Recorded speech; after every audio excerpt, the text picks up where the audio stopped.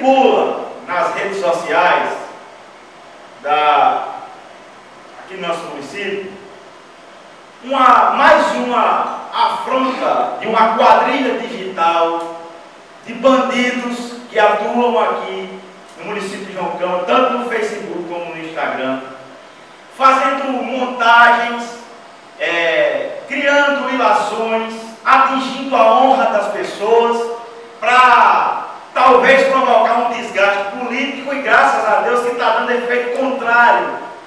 Porque as pessoas enxergam e veem os objetivos espúrios das pessoas que estão por trás disso em querer único e exclusivamente não fazer nada por João Câmara e apenas praticar o mal. Pegaram um vídeo de uma declaração dada pelo ex-prefeito Maurício Caetano, fazendo uma crítica sobre playboys.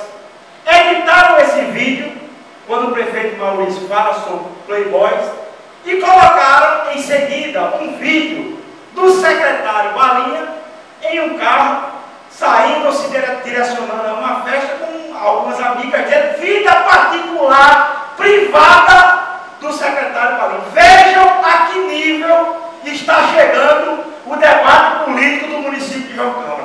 Há um mês e pouco atrás, fui vítima dessa mesma quadrilha de bandidos virtuais que atuam aqui no município de Câmara, fazendo montagens, ilações, criando coisas, desrespeitando a mim e minha família e do prefeito Manuel Bernardo.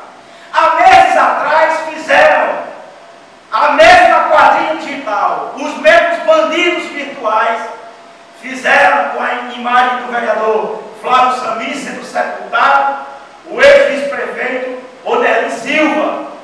Então há aqui em João Câmara uma quadrilha de vagabundo, de picareta, de bandidos digitais atuando nas redes sociais com esse intuito, é ano eleitoral, entrando na vida privada, na vida particular das pessoas, expondo as pessoas ao ridículo e não sei de que mentoria política sai isso para talvez angariar dividendos eleitorais. Eu não sei se isso dá voto. Aliás, eu tenho certeza que não dá. Isso tira voto. Porque é uma maneira de fazer política, Daniel, da mais cebosa, da mais nojenta possível. É o tipo de política mais baixo, mais ceboso, mais horroroso. A pessoa que patrocina um tipo de comportamento desse, cada vez mais se apresenta à sociedade em não somar nada ao avanço do município de João Câmara. Está aí.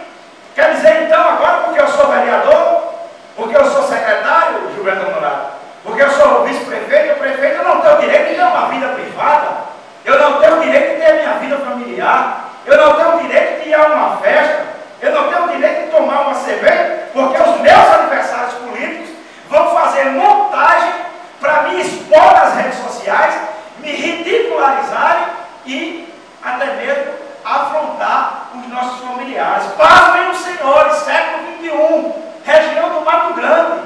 Há uma quadrilha digital no nosso município verdadeiros bandidos virtuais que colocam as suas páginas para esse desserviço.